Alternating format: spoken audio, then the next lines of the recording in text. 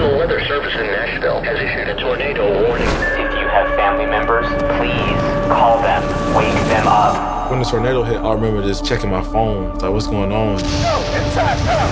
All the businesses on the houses they got destroyed. I was just devastated for the city. My grandma raised me to help anybody in need. That's what I always want to do. I just want to give back any way I can. When the tornado hit, a friend called and said, Our windows just busted out. You and the kids need to take cover. I can remember us all piling up in the living room. We could hear the wind blowing and the rain. It was scary, very scary. The next day, it was just trees down, cars underwater, just like a train wreck. What crushed me the most was my kids. They were terrified. We have went through some dark moments in our life, but my kids inspire me to work really hard for them. You know, 12 hours, 16 hour days.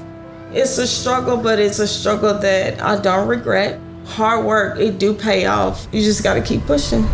When I heard about Miss Renita, her working three jobs, doing anything she can to provide for her family, I just thought that reminded me so much of my grandmother. When I was growing up as a kid, she was like a superhero to me, you know? That was my comfort, my best friend. She was just everything.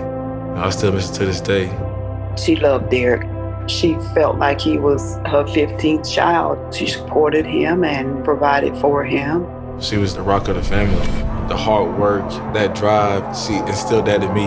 And anytime adversity comes, I always think of her, what she told me. She said, she got to get through it, pray through it, and then you'll see the light in the tunnel from the time that the tornado hit, the Titans did great work by getting out, helping all the people that were really affected. I wasn't able to come back in town, so I was trying to figure out what's the best way possible to help the community. He called me and he wanted to do something on his own. This was straight from Derrick's heart. I just told him to go get blankets, get toilet paper, get tissue, whatever you can get, get all of it, and let's just send it out and do whatever we can just to help. Nashville's a close city. Everybody cares about one another. I think it definitely united the city even more. You know, I just want to be a helping hand. I've been blessed with a lot, and at this difficult time, I want to be able to bless someone else. Hey, how y'all doing? Good. When we heard about your mom, Renita, and her story, you know, we were just so inspired that we just want to do anything we can to help you guys. So we'll be taking care of your rent for the year. Oh